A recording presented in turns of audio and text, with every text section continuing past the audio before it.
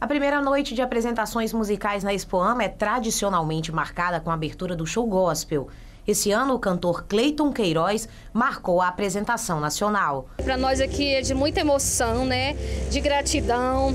Estamos aqui muito felizes por mais uma vez estar participando da produção da organização da Noite Gosta Expoama. A gente hoje vai ter de renome o Cleiton Queiroz, né, que é um cantor cego, é um cantor que traz assim um grande exemplo para nós enquanto ser humano, né? É um cantor que traz motivação, que traz fé.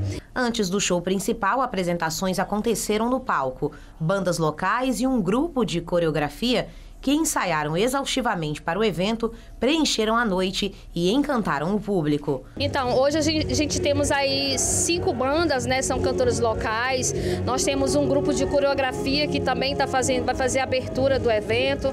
E de antemão a gente já quer agradecer né, o grupo é, SBT por estar aqui apoiando mais uma vez a gente, né? Agradecer a Positiva Eventos por acreditar no nosso trabalho, o sindicato, o Diego, que nos deu mais uma vez, a gente está fazendo essa parceria e deu certo.